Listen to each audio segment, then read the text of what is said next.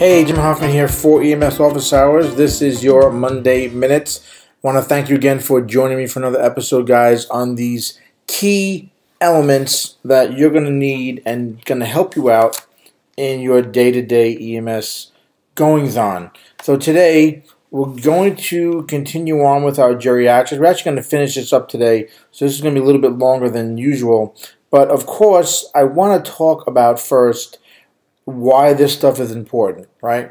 I always say that this is important. It's not just because of your exams and your recertification exams, things like that. It's also to give you that key information to just pass your exams and also to build your knowledge base. I'm very big on that, very big on increasing your knowledge every day in EMS so you can make better clinical decisions, do your reports better, interact better, better with other healthcare professionals. So it kind of all encompasses it right? So it's not just for exams. Um, and I'm hoping that this builds your knowledge base and, and encourages you to go ahead and get more information on these topics if you're unfamiliar with them and you want to learn more and get become better on these individual topics. Okay, so let's get into this, guys. Again, we're going to finish up geriatrics today. Okay, um, ended last time with general assessment, but I want to talk a little bit now about the physical exam. Okay, elderly a little more trickier. Okay, you should treat them like a trauma exam if possible. Okay, because they might not know or be able to tell you what's going on with them, especially patients who have severe dementia, Alzheimer's, things like that. Right? Do your complete head to toe on these patients. Okay, um, when you're talking about things like general management of these patients it's a little trickier for, for elderly patients. You got to kind of keep in mind certain elements that, that you want to look out for, okay? Things like your airway, you want to do your basic airway assessment, but also watch out for dentures, watch out for other airway obstructions that might be going on. A lot of times, elderly people don't necessarily chew all their food, they might have something left in there that you might not see right offhand, especially if they had a syncopal episode or maybe passed out for some reason, something like that, right? So keep that in mind. Look out for circulation watch out with fluid. Don't give them too much because a lot of these patients might be on on on uh, you know uh, uh, uh, water pills and might have some sort of CHF issue going on. So be cautious when you're giving uh, fluids and transportation. Okay, try to ask them to help you when you're moving them to a stair chair, to a stretcher, things like that. Okay, keep in mind, guys, these are older older people. Okay, so they have fragile bones, fragile skin, okay, things like that. So let them help you if they can, all right, and that's going to make them more comfortable and also kind of help them with their dignity a little bit too, okay, because they don't necessarily want you helping them every step of the way. So, other thing that you want to think about, guys, is talking about the specific systems, okay, things like respiratory complaints. Watch out for pneumonia. Watch out for that uh, pulmonary edema. Watch out for COPD. Okay, the cardiovascular, again, we talked about CHF already, right? That's something that's very big with elderly patients. What medications are there are there on, okay, that are cardiovascular in nature? Okay, what type of medications might give them orthostatic sort of changes? All right, and what about the nervous system? Keep in mind, a lot of them are, are very susceptible to be having a stroke or a TIA.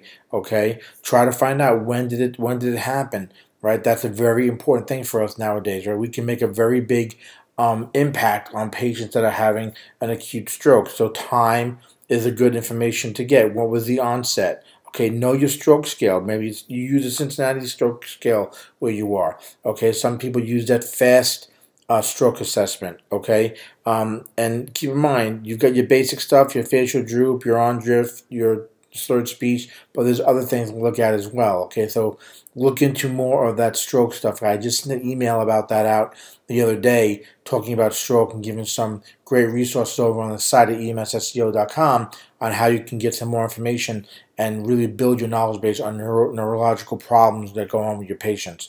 Um, endocrine systems. Keep in mind, guys, diabetes, especially for geriatric population, about 20% of them are going to actually have it okay? And many times, you know, you'd be surprised too, a lot of uh, pediatric, I'm sorry, geriatric diabetics also have COPD. All right, so keep in mind about that big picture, okay? To you know, again, we go back to them not being able to tell you much. So keep in mind, you got to have to do a little bit more research, but more questions asking, then you might actually uh, be used to. Okay, their GI symptoms. What symptoms can can be going on here, guys? You can get your usual nausea, your your your vomiting. Okay, but look out for bowel obstructions. Very common with elderly patients. GI bleeds, hiatal hernias. Okay, and also keep in mind that sometimes these symptoms for GI tract issues or, or pretty much any symptoms that your elderly patient might have can also be secondary to other issues.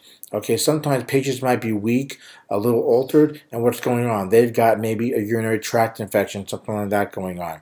Guys, I want to wrap some of this stuff up here, guys, okay? But let's talk about the CNS a little bit more before we get into some other special considerations.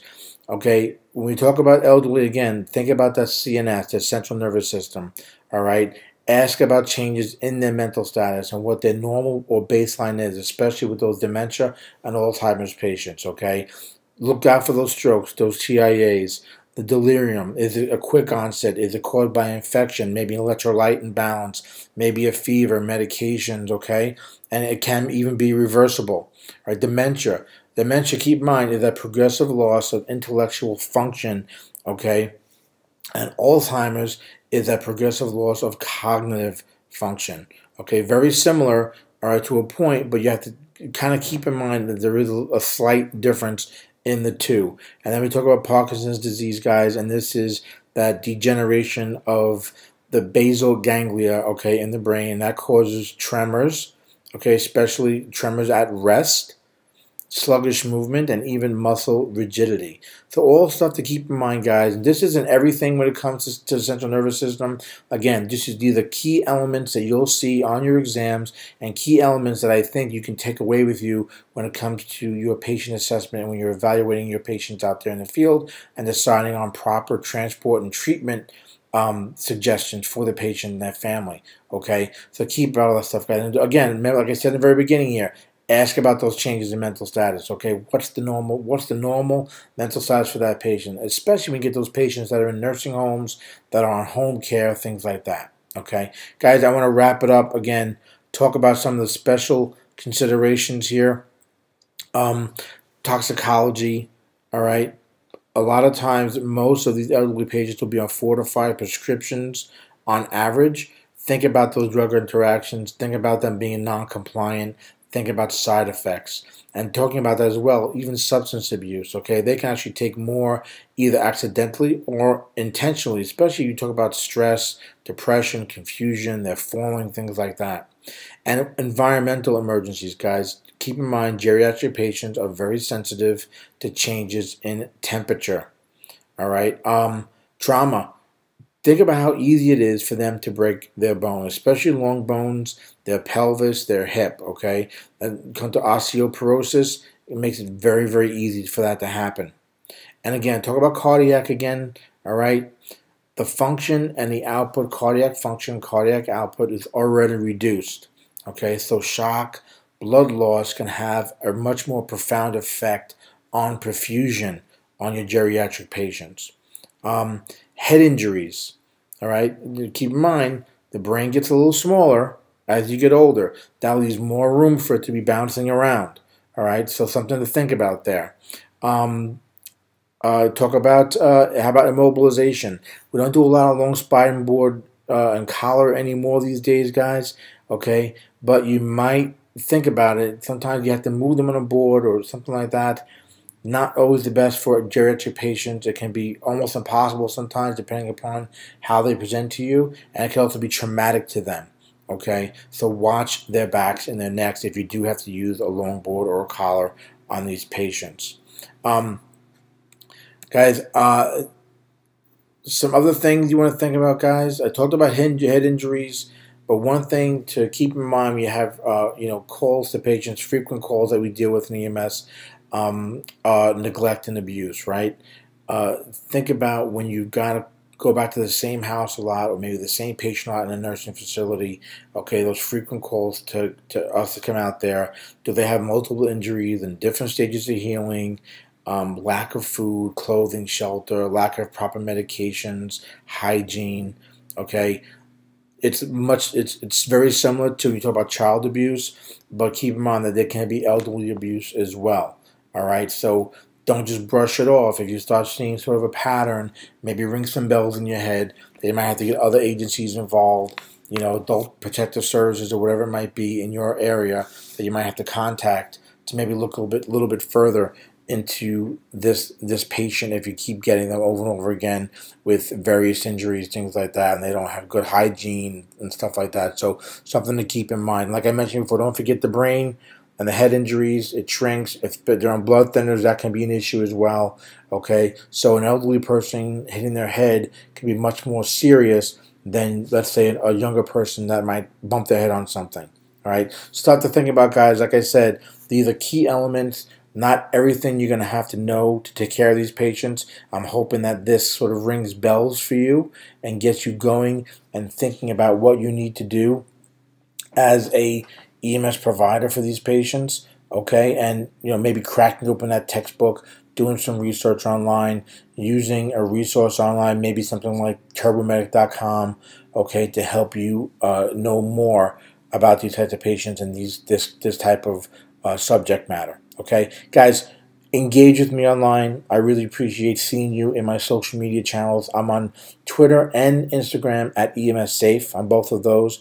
Uh, Facebook, it's facebook.com forward slash the EMS professional. I'd love to see you in either one of those, any of those channels or all those channels and see what I have going on all those channels. I do something a little bit different on each of those channels to help engage and get your thoughts and your your, your ideas what's going on in EMS.